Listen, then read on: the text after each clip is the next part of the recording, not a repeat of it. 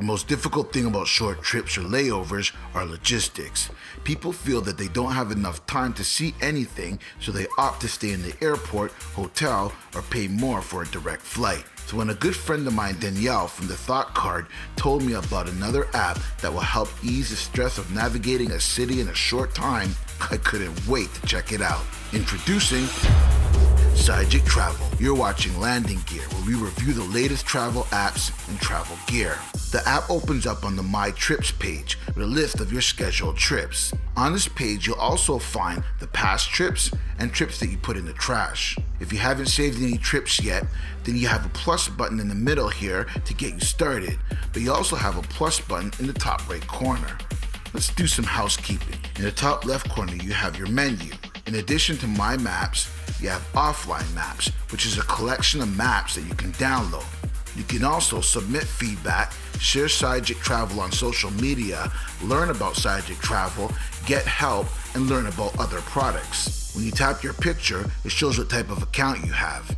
Now, I have a premium account, which comes with premium travel guides sourced from the very awesome Fodor's Travel. I have access to worldwide offline maps, and it's a lifetime purchase. A premium account costs about $13.99 Canadian. Let's get into it. Tap the plus button. To get you started, you're presented with nearby destinations, as well as a list of popular destinations. Naturally, in the search bar, you can enter the name of the city you're looking for. Let's go for Toronto. Give your trip a name. If you know the dates, you can enter them here. And if you know your place of arrival, like an airport, train station, etc., you can enter that as well. If you're staying in a hotel, enter it here. If you're staying in an Airbnb, friend, or family's place, you can enter that address as well, but I'll show you that later. Tap Create Trip.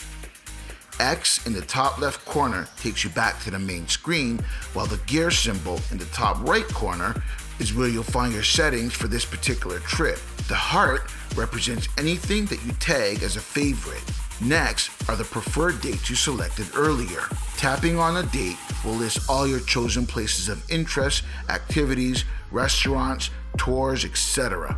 The magic happens when Sygic Travel takes all your interests and lays out your day for you. We'll come back here after we've added some points of interest, but for now, we have the airport that we'll be landing in. You have the current weather in the selected city. The three dots allow you to add a note, show all your selections on a map, or delete the day. If we tap our first selection, Billy Bishop Toronto City Airport for a second, you're provided with tons of info about that selection, which we'll look at as we start adding points of interest. But I wanted to point out the scheduled time. Tap it and you can change the time to reflect your arrival time and the estimated time you think you'll leave the airport. This is all good if you have a dinner reservation. You can enter the time that you'll be at the restaurant. It also works for tours. If you know the duration of your tour, you can enter that information. Sygic Travel will take all of that information and factor it into your itinerary. Tap the map. Welcome to Toronto. As you zoom in, you can start seeing all the points of interest. Circles that have a blue ring around it are selections you've already made. When I tap this one, it's our airport. The check mark also means it's selected already. If I tap it, I get the same card we saw earlier. Tap the arrow to go back. The bigger the circle means the more popular. So let's tap this one and see what it is. We get a little card with some basic info, but we want more. Tap the card. The CN Tower. It's our pride and joy. Look at all the info. As a premium member, I get a Fodor's write up, tours and pricing, tap 8 minute window seat helicopter tour over Toronto, and we're presented with all the tour info, details and pictures, and ways to book the tour, all within the app, Arrow to go back. We also got Wikipedia info, the official website, admission prices, admission times, duration, address, and distance from your current location by walking or by car. You can tap it to see the route. You also have all the contact info and social media networks, available passes and notes, which if you tap, you can enter time and duration. Tap the plus button to add it and choose the day you want to add it to. In fact, I'm going to heart it as well. Now, let's say you read about a great off the beaten path park, restaurant, bar, or activity. You can custom add it. Tap map, tap and hold to get a pin, tap the card, type in the name of the restaurant or activity or venue, type in the description, tap change location, and in the search field, type the address, then type search. Once it's found, tap save. You can add additional contact info, tap done. You can also add a picture if you have one. Tap the arrow to go back. The map is great because it allows us to quickly see what is close to the airport or our accommodations and choose points of interest based on distance due to time constraints. So since we have two days, let's tap on places. Now we have a list of all the key things to see and do with a brief description.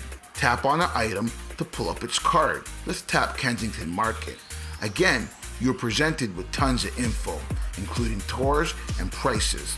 Let's choose a few. You can also swipe to see the next location's card. Tapping the lines in the top right corners allows you to filter selections based on your interests. Let's add some restaurants. This is awesome because I live in Toronto, I can see what the app is doing. It's picking restaurants based on locations I already chose.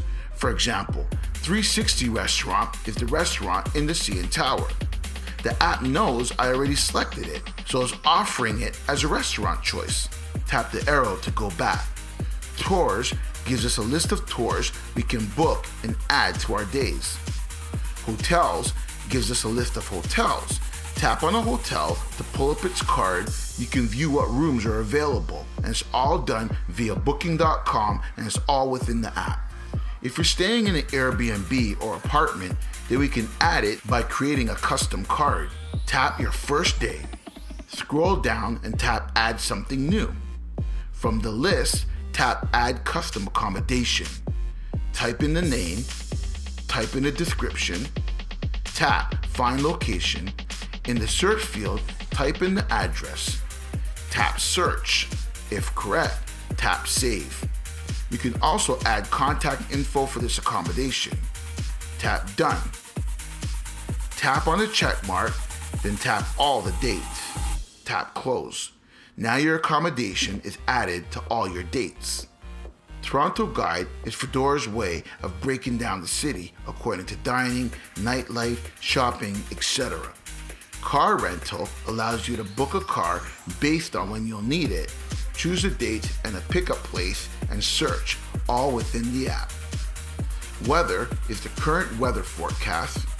Day trip is a list of places you can visit in a day close to your destination. In this case, Niagara Falls is the most popular destination to visit within a day from Toronto. Download allows you to download the map to use it offline.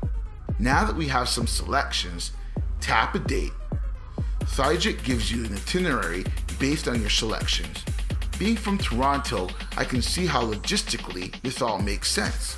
If Casa Loma is first, Royal Ontario Museum would be next, followed by Kensington Market and Chinatown.